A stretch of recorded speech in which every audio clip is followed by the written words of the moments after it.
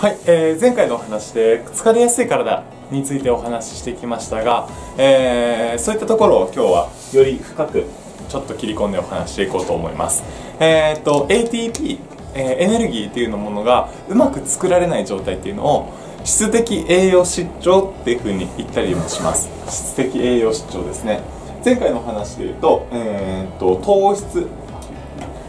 黒出にくいですね糖質っていうものがまずは増えすぎること。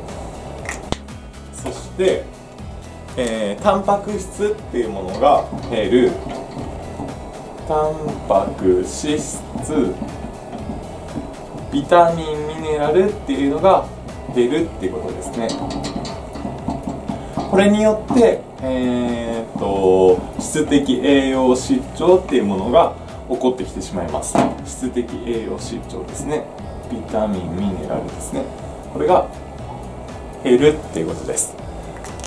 これが、えー質的栄養失調そして ATP が作られず疲れやすい体っていうのを引き起こしてしまってる、えー問題になっていきます。で気をつけなきゃいけないことは前回もお伝えしていきましたが糖質っていうものをまずは減らしていくこと。なので、えー年取って、年取ってって言ってもまあ大体成長が止まる20代30代に30代もいかないですね。20代の真ん中ぐらいまで。そこまでは糖質取っといても大丈夫かもしれませんがそれ以降ですねえー30代40代50代とかになってきた時に同じように糖質の量っていうものを取りすぎてしまう。えーそういったものが起きると単純に、えー糖質が上がりすぎるので解糖系って言われる前回お話ししたところですね。そこでエネルギーを作ろうとしますからやっぱり体の摂理と、えーごちゃごちゃになってしまって調子が悪くなります。そして、えー糖質が多くなってくると、えーそれに伴ってタンパク質だったり脂質っていうのも減りがちです。特にこれダイエットとかしてる人が、えー多いかもしれませんが脂質を減らす人って多いです。意外と、えーお肉を減らしてしまったりだとか、えーそういったところからこの脂質ですね。脂質が減ってきてしまいます。脂質も、えーその ATP っていうのを作るのにすごく重要な役割を果たしますがなんかヘルシーなものを取らなきゃいけないとか野菜ばっかり食べていこうとかってなってしまうとこの脂質が減ってしまいますのでそうなってくると体の状態っていうところが崩れてしまいますよっていう部分ですね。あとはビタミンミネラルっていうところのお話です。ビタミンミネラルに関しては前回もお話ししましたけれども マグネシウム不足っていうのが挙げられるかなと思います。このマグネシウムがないと体の中に栄養素をうまく取り込めなかったりしていきます。マグネシウムが減ってしまう理由としては今度逆にリンっていうものが多くなってることが考えられます。リン。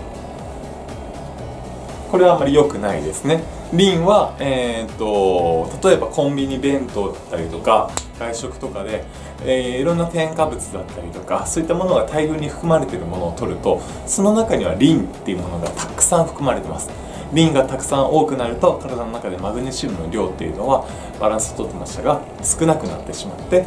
こういったものを吸収できないような体になってしまいます。なのでこのリンっていうものをなるべく取らないようにすること。なのでコンビニ弁当とかをいっぱい食べてると、えー体が疲れやすい体になってしまうのはこここれが関わります。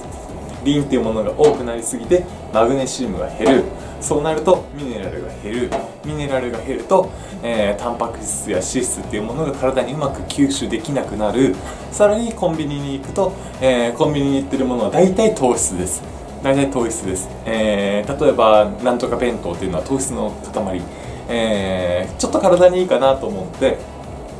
えーせめてミックスジュースでも、え野菜ジュースでも飲んでおこうってなるとあれも砂糖の塊ですから、えそういったものでもまた糖質っていうものは上がってきてしまう。結果的に質的栄養失調を引き起こしてしまって、え体の ATP っていうものがうまく作られなくなる。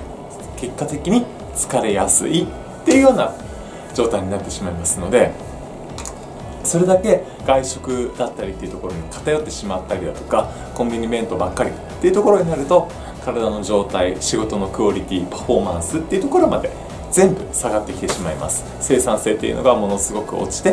えー、状態が悪くなる。っていうところまで続いていきますのでこういったところもちょっと見つめ直してどこが変えれないかなっていうところを考えていただくといいかなと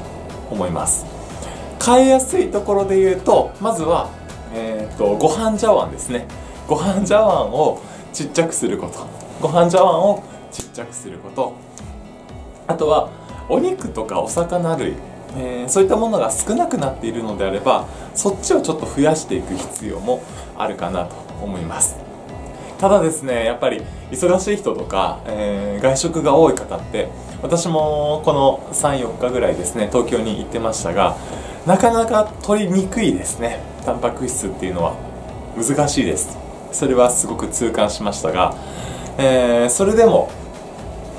なんとかですねそういった中でも美味しいところそしてタンパク質脂質っていうのが上手に取れるようなところを探してそういったところで食事をとっていく。っ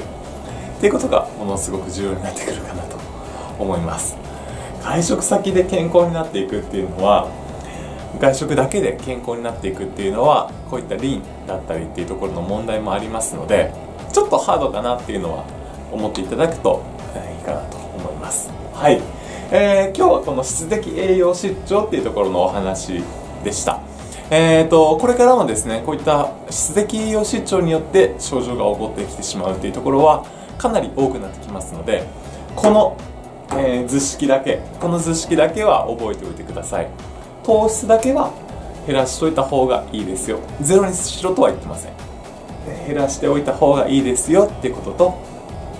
この他の部分ですね。タンパクだったり脂質ビタミンミネラルっていうところが減ると体の状態が崩れてしまいますよっていうところだけ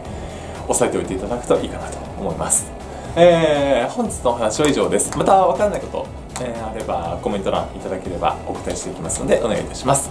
えー、本日も、え、以上です。はい。はい YouTube をご覧いただきありがとうございました、えー、下の概要欄から LINE アットにご登録いただくと3つプレゼントをお渡しさせていただいております。1つ目初回1980円で、えー、トイレの施術を受けられます。1つ目カウンセリングが無料。3つ目お得情報っていうところが、えー、あります。あとは私の可愛い息子の写真がたまに送られてくるかもしれません。はいぜひ LINE アット、えー、ご登録お願いいたします。本日も動画をご覧いただきありがとうございました。